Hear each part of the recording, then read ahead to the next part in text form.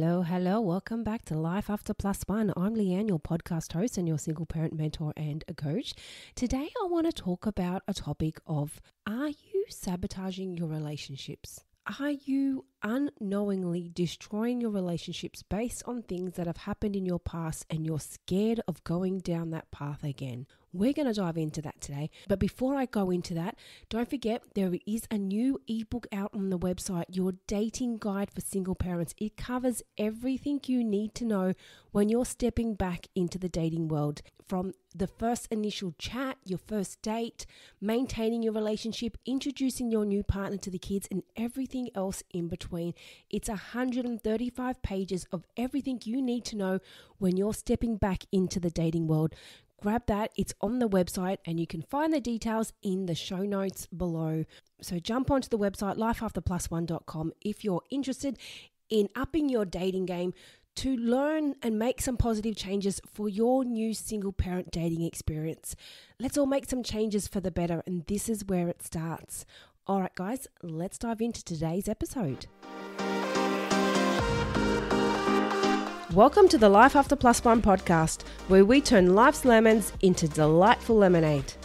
Get ready for inspiring stories, uplifting conversations, and all the tips and tricks to rock your single parent journey with style.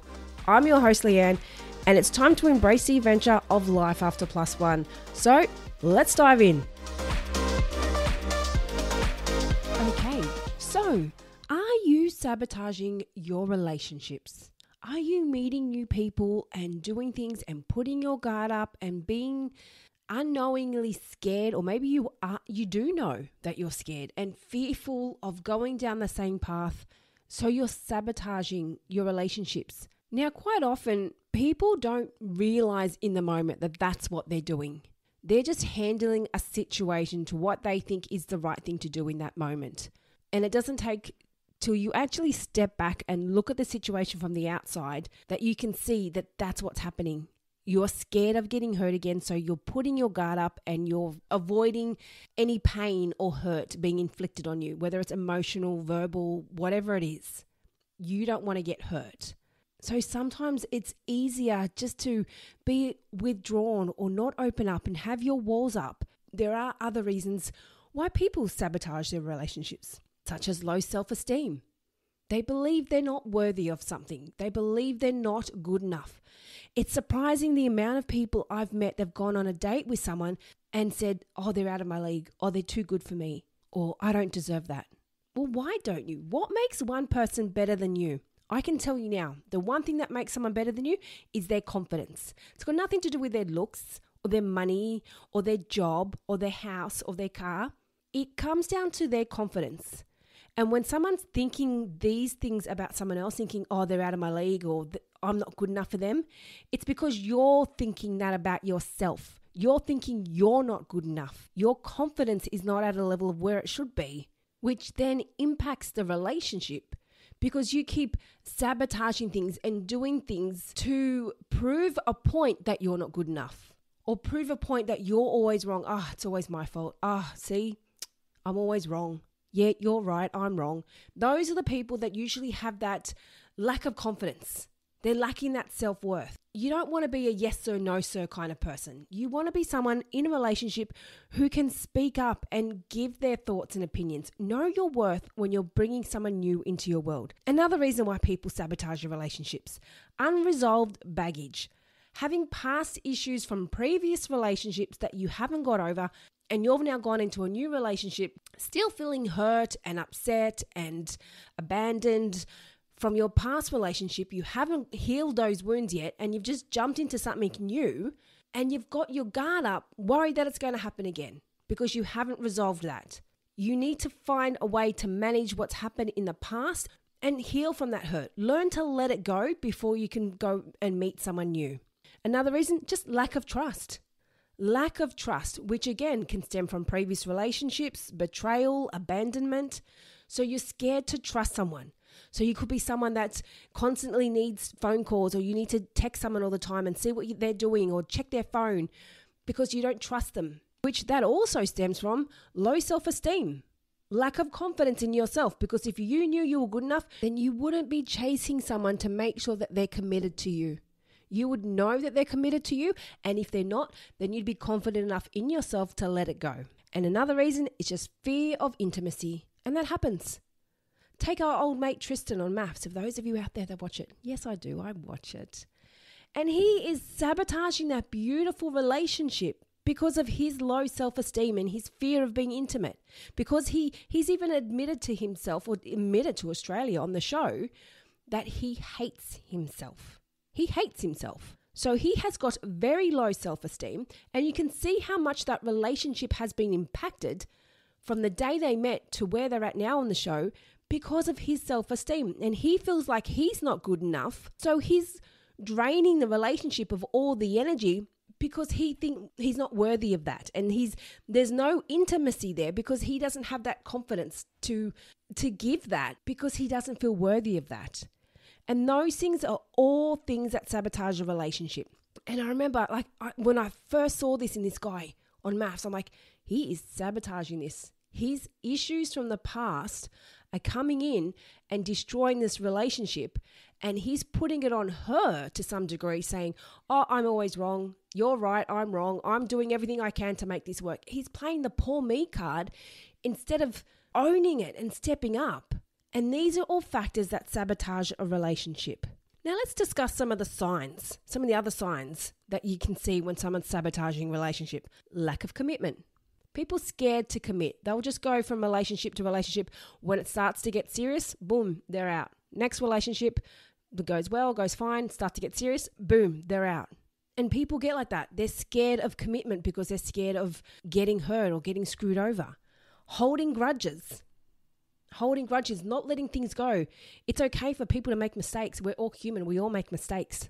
But if you're going to hold a grudge towards someone, holding a grudge in a relationship will only create a negative impact. It's it's just going to you're constantly going to have anger towards someone because you're refusing to get over something because they may have hurt you once and you're so you're scared of them maybe hurting you again or something happening again so you just hold that grudge you keep reminding them to make sure they don't do it again another sign scared of dealing with negative emotions and this is a common one people don't like talking about things and you see it a lot and it's such a common sign when you see it on online dating when people say I don't like drama. Nobody likes drama. Who likes drama? To me, when I read that someone saying, I don't like drama, is their way of saying, I don't deal with shit. I don't want to talk about anything. If there's anything that you don't like, I'm not dealing with it. I'm not talking about it because it's just going to start drama. That's what I take from it. Talking about reality, talking about feelings and emotions, talking about something that your partner may be unhappy about is not drama. It's called having open communication not dealing with shit and having no level of communication when something's not right, that is creating drama. So when you come across someone that's not willing to deal with emotions or things that are happening within your relationship, they're avoiding that. They're scared of dealing with negative emotions. They're scared of dealing with something that might upset them or might upset someone else. And they're scared of fighting or they're scared of something happening that they don't know how to handle. So they just avoid it completely. It happens a lot. It does. It's a very unhealthy way of managing things, but for a lot of people, they think it's healthy because they're avoiding drama. But you can handle things as adults, because we're all adults here, we can handle things in a civil way by talking about things calmly and openly without having drama. By hiding your feelings and hiding what's actually wrong, it shows that you can't communicate effectively with your partner, which ends up creating drama. So, someone that's not wanting to deal with negative emotions is sabotaging their relationship. They're hiding something or still unhealed from something that's happened in their past. So, they're avoiding issues, they're avoiding dealing with the reality and they're not communicating. And that's a big thing, not communicating. I am huge on having open communication. I've said this so many times on different episodes. I have such an open communication with my daughter, like our relationship. We talk about everything. And I think that's so great. And I've even had people say to me, I love how you talk to your daughter. You're just so open with her. You talk about everything. Yes, I do. And I think it's great. And I think it's great that she can come and talk to me about everything And I think that's such a, a good way to go through life instead of just bottling things up and getting to a point where you just explode or freak out at the wrong person because it's all just got too much and you've just kind of fizzled over and it's just boom, whoever's there is going to cop it. If you communicate things as they go, then you're not going to erupt when something small happens. You're going to deal with it as it arises. Another one, unspoken expectation. So when you expect something of your partner, but you're not telling them that, but in your head you're expecting that, oh, they should have known that. They should know that's what I like. They should know that they shouldn't say that. They should know that they shouldn't do that. Why should they know? Have you communicated that to them in the past? If you have, then yes, that's very different. If you this is something you've openly discussed together, then yes.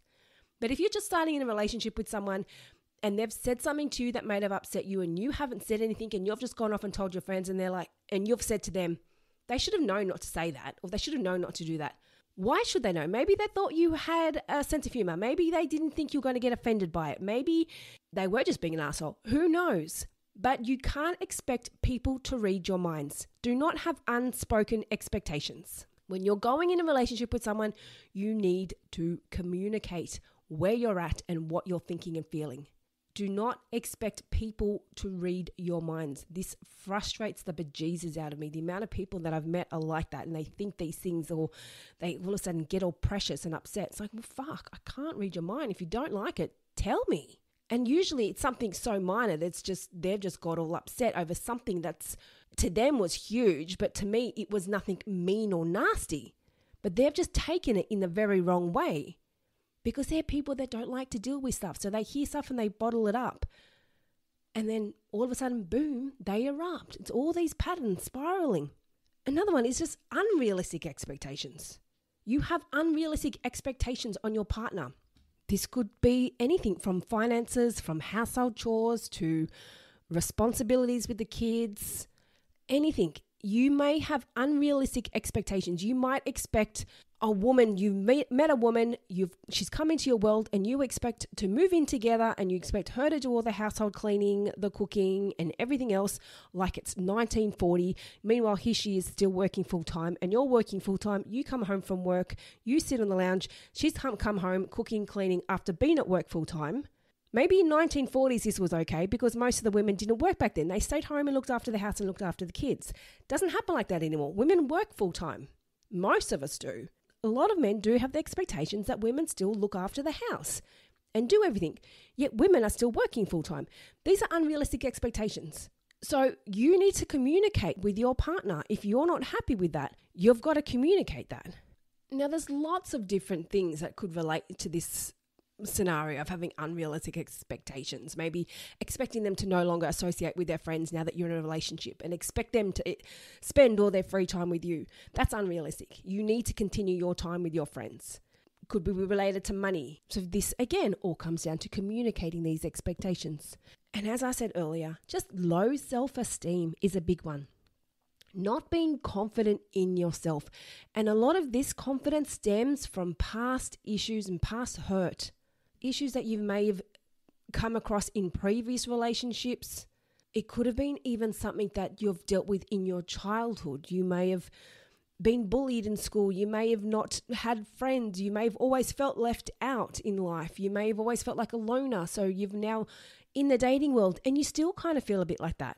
And it's affecting your self worth. And your self worth is affecting your relationship. So if all of these things are happening, why are people doing it? Why are people doing these things in relationships if it's going to create a negative impact? Well, it's a protection mechanism. They're protecting themselves, scared of going down that same path again, scared of getting hurt. So I'm going to protect myself so you can't hurt me. And a lot of times when people do that, they end up hurting the other person. And it's not intentional. It's not intentional. But people trying to protect themselves so much that they avoid it to the point that they end up hurting the other person. So, some other examples that come into play when you're protecting yourself are staying in toxic relationships. And that's a, a lot of people do it. You know it's not right, you know it's not healthy, and I see it all the time. People complain about their relationship. They know it's not right. They know what their partner's doing is unhealthy behavior, but they're scared to leave. So for them, it's safer to stay in a toxic relationship than it is to start something new. They're scared of the unknown. So they're just going to protect what they know, stay in that little safe bubble because it's easier to stay in a toxic relationship than to get up and do something different. Another way people protect themselves is by keeping their guard up, keeping guarded, keeping their walls up, and not expressing their feelings. Sabotaging positive moments. I've seen this a lot. When there's a really fun moment and it's all fun and everyone's enjoying themselves, but they find some way to make it a negative. That is sabotaging behavior. And constantly dating unavailable partners. And you see this a lot. People keep saying, oh, I keep attracting the same person. I keep attracting someone that's emotionally unavailable. Well, why? Why do you keep attracting the same kind of person? What are you giving out? Is that something that you're doing because maybe you're too scared to express how you're feeling? Are you emotionally available? Or are you changing something in yourself and the way and what you're putting out, what you're offering in a relationship to help you look for something different, to encourage you to see something different in a relationship? Change your outlook so you don't keep attracting these same people. It also comes down to avoiding responsibility. There are a lot of people out there that like to play the poor me, mm, stick in their little victim bubble, and they don't like to take accountability. And that's sabotaging. They avoid responsibility, avoid taking accountability for anything. Another reason, or another thing that people do when they're sabotaging relationships, controlling behavior, avoiding being vulnerable. So they just control it. They don't want to make it about them. They don't want to talk about what's wrong with them. So they control the situation so they can be in charge. And another reason, it's just familiar to them. It's what they know. They haven't changed anything. It's just maybe what they grew up with, and that's just what they know. So that's just what they do. So there are a lot of patterns and a lot of reasons why people sabotage relationships. It's not something that maybe one person here might do and maybe one person over there might do. It's a very common thing. It's very common and it comes to a lot of underlying issues, which all comes back to you're just trying to protect yourself which is okay if it's managed properly. We all want to protect ourselves. Nobody wants to get hurt and nobody wants to deal with drama. But there's a way to do it, and you've got to find a healthy way to do it. By sabotaging relationships is not the right way. So, what do you do? How do you manage a relationship when you're so used to putting your guard up? You're so used to not communicating. You're so used to not dealing with shit. Can you see a pattern that's happening? It might not be these things, but there could be different things that have happened. So, what do you do? As I was just saying, first step, recognize the patterns. Recognize these reoccurring relationship patterns. Are you in relationships where the same things keep happening over and over again? And you're like, for fuck's sakes, I can't deal with this anymore. Each person I meet, each girl I meet, each guy I meet, it's just the same situation over and over again. Now, step back and look at it. Why are these patterns happening? What's happening? Now, I'm not saying you're to blame, but is something happening from your end? Is it because you're not being open with that person and not communicating to them? You're not telling them how you feel? Is it because you have unrealistic expectations on them or unspoken expectations? You're thinking all these things of what you're expecting them to do and they're not doing it. So you're getting the shits and it's end up in a big fight because you haven't told them what you think and then you've got the shit to them over something that they had no idea was something that was even pissing you off. So something could have happened where the other person might have reacted to you and you just think, oh, well, these assholes keep doing the same thing to me. But are you doing something on your end that's triggering that behavior from them? Is there something on your side that you can step back on and reflect and go, yeah, okay, I need to learn to speak up more, or I need to learn to be more confident in myself? I need to learn to not be scared of dealing with real issues that arise in a relationship. There's lots of things. There's lots of things. So, what to do to avoid sabotaging a relationship is to step back and look at the reoccurring patterns that are happening in your relationships. What's happening the same? Are you attracting the same types of relationships over and over again with the same patterns and the same thing keeps happening? If so, step back and look at it and ask yourself, what can you do differently? What can you manage differently on your end so this stops or this changes? And it won't change overnight. It is a gradual process, but recognizing it is the first step. That's the first step. What can you manage differently or what can you control differently on your end to avoid being in this situation again? Because remember, you cannot change the other person. You're not trying to change anybody else. You're trying to be a better person in yourself and you're trying to learn how to manage things in a healthier way. That's what this is about.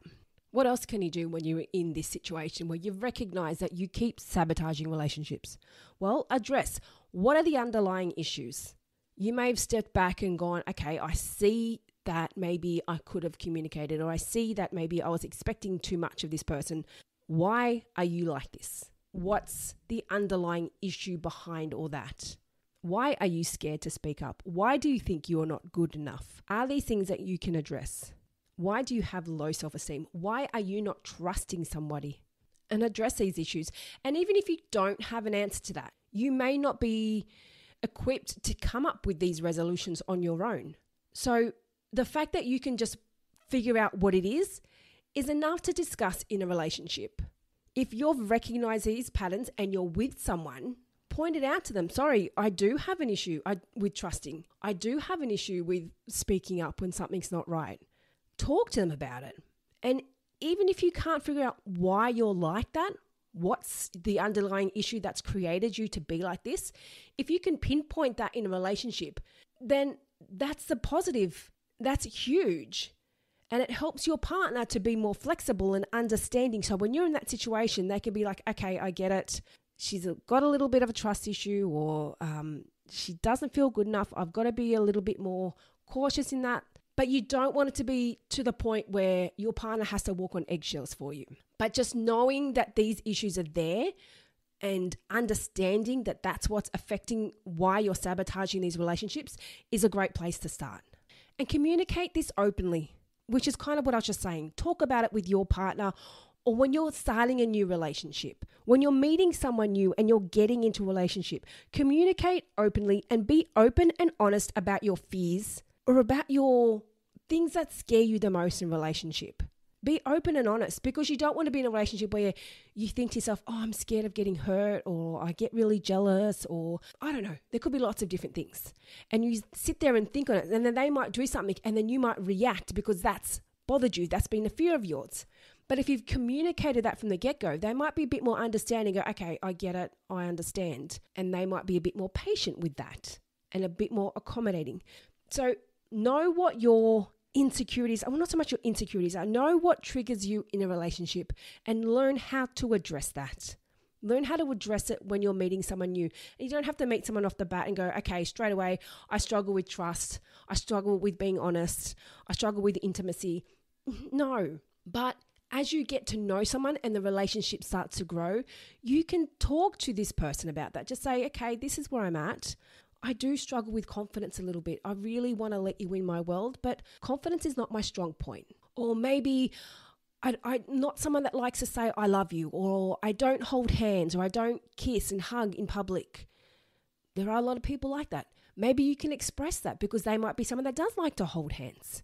And maybe that's something that you're scared of. You're scared of doing that because maybe you're fearful that someone might judge you or you're not confident in yourself and maybe you feel like you're not good enough. So these are things that you can address. Go, I, I do really like you, but I don't show it in that way. I show it in this way. So learning how to express and openly be honest about your fears and your relationship patterns that have caused your previous ones to sabotage or to not go well. And like I said, it's not necessarily something that I'm pointing on you. Relationships are based on two people. It's based on two people, but two people know need to know how to communicate these and need to know how to work through these together. And that's why you need to be open and honest about it from the get go. And like I said, not from the first date. You don't sit down on the first date, go, by the way, I'm not going to trust you. I need to check your phone. I need to do this. No, but you need to express that and be honest. If you see something you don't like or something you're unsure of or something that may have triggered you from a previous relationship, don't just sit there and bottle it up and then go back to your friends and go, he's a fucking asshole, he did this. Speak about it openly. Learn to communicate and say, okay, that's where he's at. I'm not sure I like that. I've got to find a way to let him know because that triggers me a little bit. That's what it comes down to. Instead of just erupting and flipping your lid and going off at them or recognizing, okay, these things do bother me because I've been down this path before, I've been cheated on, or I've been lied to, I've been with a partner that just never trusted me. You've got to communicate this and just say, okay, this is where I'm at. I'm working through this in myself. I'm learning to be more confident. So just be patient with me. And I'm growing every day and I'm being a better person every day because I'm listening to the Life After Plus One podcast. But it's that's what it's about. It's just about recognizing things that you could have done better in previous relationships and you're learning as you grow. And that's what life's about. We we learn as we grow. And that's it. That's what this is all about. And don't forget, be kind to yourself. We're not perfect. Nobody is perfect. Nobody handles things in a perfect way every single time. We all make fuck ups. We all do. That's life. We all wing it as we go. And I've said that multiple times on different episodes. We're not given some perfect guidebook every morning when we wake up and go, okay, this is how we're going to manage this when this happens. This is what we're going to do here. This is what we're going to. No, we just wing it as we go. Something shit might happen. So we go, okay, shit, could have done that better. I won't handle like that next time. That's what life's about. We look at what we've done wrong and we look at what we can maybe do better next time. So be kind to yourself. Don't sit there and go, oh, fuck, yeah, I fucked up. I didn't trust them, or I lied to them, or I cheated on them, or I did this, or I did that. Nobody is perfect. We all fuck up. And quite often, things that happen bad in relationship is usually stem from someone just trying to protect themselves. And unfortunately, it ends up being a negative impact on the other person. But if these things were communicated effectively from the beginning, then there'd be no issue. Well, maybe there would be, but hopefully you could work it out together. So, going back on a previous example where I said before, where there's situations where it might be a positive time and there might be something really fun happening, but you've been someone that might sabotage it. You're like, oh, this is too good to be true. This this can't be right. And then something happens and the whole day's gone to the shit. And I've been in situations where that's happened. Something really good's happened and it's just boom, sabotage. What the fuck just happened? Just had a really good day and then it's just gone to the shit. The complete it's gone from one extreme to the other. And that's a sabotaging technique. It is. And it's very unhealthy behavior, but it's usually again, I think it's too good to be true. So let's just ruin it. It's this can't be right. This can't be real. And that's why a lot of the times people do bad things or unhealthy things in a relationship because one, they don't know how to manage it properly, they don't know how to communicate it properly, or two, they just think they're not good enough. They think they're not good enough, or they think that something bad's going to happen to them. So let's just go out and do something so I can't get hurt. That way I'm out of the picture and I'm not hurt. I'm okay. I'm safe. And it's a very selfish way of dealing with it because they've gone now put the hurt on the other person. But that's usually what it comes down to. They've sabotaged it in a way of avoiding any hurt happening to them. Something better might have come along. Oh, let's just go to this because this isn't going well. So they're probably just going to hurt me. So I might just go off to this because it's looking really good. But then they've just hurt this person. Did that all make sense? That was a bit of a tongue twister. But what I'm getting at is it all comes down to we're protecting ourselves. We don't want to get hurt. We don't know how to communicate that properly. We don't know how to recognize our triggers and what's affected us and what's caused us to react this way. And it's all just exploded in an unhealthy way. But don't forget, relationships are based on two people. Don't take sole responsibility yourself. And don't sit there and think, oh, I fucked up. I could have done this better. I could have done this better. I could have done. No, that's what life's about. We're here to learn as we go. We're here to learn as we go. And that's why we're here listening to this. So, hopefully, next time you can step back and recognize these patterns that have maybe come up in your previous relationships, these reoccurring situations that keep happening. This person keeps lying to me. I keep meeting people that just keep lying to me. I keep meeting people that just won't open up and talk to me when that's all I want. I just want people to communicate with me, but I can't find these people. Are you putting that out there? Recognize what you can maybe do differently Recognize your patterns. Are you sabotaging anything on your end? Are you putting your wall up? Are you not communicating? Are you having unrealistic expectations? Are you not communicating your expectations? Are you being controlling of a situation because you're scared of being vulnerable? You're scared of having to open up. You're scared of losing the control or you're just used to doing this pattern. You're just used to it. It's what you've seen, it's what you grew up with, it's how your parents were, and you've just followed it on. So, like I said, step back and reflect on your previous relationships. reflect on the patterns and what can be changed in yourself and how you manage situations and look at the underlying issues. If you can work out what's causing you to react this way, then great. That's perfect. But if you can't, then that's okay. But as long as you recognize what they are, you don't have to recognize why you're doing it, but if you recognize what they are, example, trusting, um, low self esteem, those kinds of things. If you can recognize that, then that's a great thing. And then you can address that in your next relationship. I'm a little bit shitty with my confidence, or I'm a little bit bad at whatever else. Address that and be open and honest about things that scare you in a relationship. Okay, because if you keep that in and you keep meeting someone and you're not addressing this, when it comes up again, you're just going to explode and probably sabotage the next relationship, which is what we don't want to happen. So be open and honest about where you're at and be open and honest about what you're learning in yourself and where you're at. I've noticed that this is my pattern. You don't have to communicate it that way, but I've noticed that these are patterns that keep coming up in a relationship and that's something I don't I want to try and avoid. So Find someone that's open to communicate these things with you. And don't forget to be kind to yourself. Be kind to yourself. We all fuck up. Nobody has a perfect relationship, and nobody is perfect in life. Nobody handles situations perfectly every single time. We're all just learning as we grow. And this is what the whole point this podcast is about to learn as we grow, to learn new steps to manage your single parenting in a healthier way and in a happier way. So, when you do have your next relationship, it's a healthy, happy one, and it's one that you want to bring your kids into, which can then evolve into a new relationship where you've brought in a new parental figure for your kids, which is someone that you want to be a good role model for them. Now, I'm not saying they're going to be a new mum or a new dad, but when you have a new partner where you've moved on and in a long term relationship, then they will take a parental figure role with your kids. And you want someone that's going to be a good role model for them. And you want to have that kind of relationship that's going to be good for the kids, a healthy one for the kids. You may not be married, but a good kind of family relationship that makes the kids feel comfortable and happy. And that's what you want. And that's what the kids see.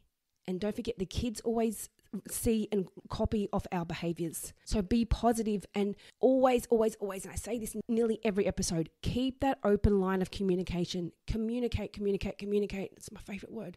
Talk about everything. And one of the things I always say is there's always a way to say something. There's you always hear people say, I, I can't say that or I can't say this. Yes, you can. There's always a way to say something. Just find a kind way to say it. You don't have to say things in a hurtful way. Oh, fuck it, I say everything. I say what's on my mind. That's great, but can we do it in a kind way? Okay? You can talk about anything, you can get anything you want off your chest, but do it in a kind way. All right, that's about it for me. I'm going to wrap it up. So, Let's not sabotage any more future relationships. Let's learn from this. Let's learn what we've been doing in our past relationships and what those patterns are, and let's change it so we can have healthier and happier relationships in the future. And you're not going to have the perfect relationship straight off the bat. Well, fuck, maybe you will, and that's fucking amazing. But you're going to slowly learn and recognize these patterns, and you're going to slowly make changes. But if you've got someone that's quite. Uh, open minded and flexible and can work with you and communicate with this with you, then that's great. There's no reason why it can't work straight away, but keep that open line of communication where you're at. And if something upsets you and triggers you and bothers you and you see it re- recurring from the past, address it. Find a way to address it so you don't just sit there and bottle it up or sabotage it and destroy everything. All right, that's about it from me today. So I hope you got something from this. Let's strive towards having those beautiful, healthy, happy relationships, and we're not going to sabotage any more relationships in the future.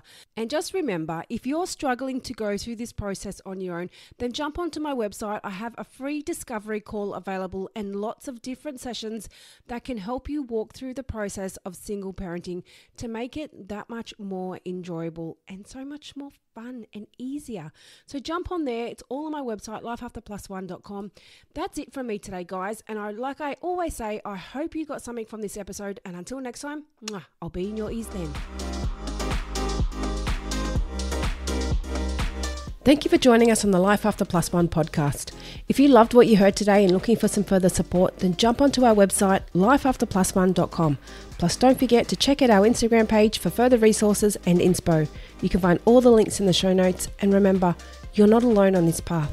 I'm looking forward to seeing you on the next episode, and in the meantime, keep thriving, keep growing, and keep exploring your amazing life after plus one.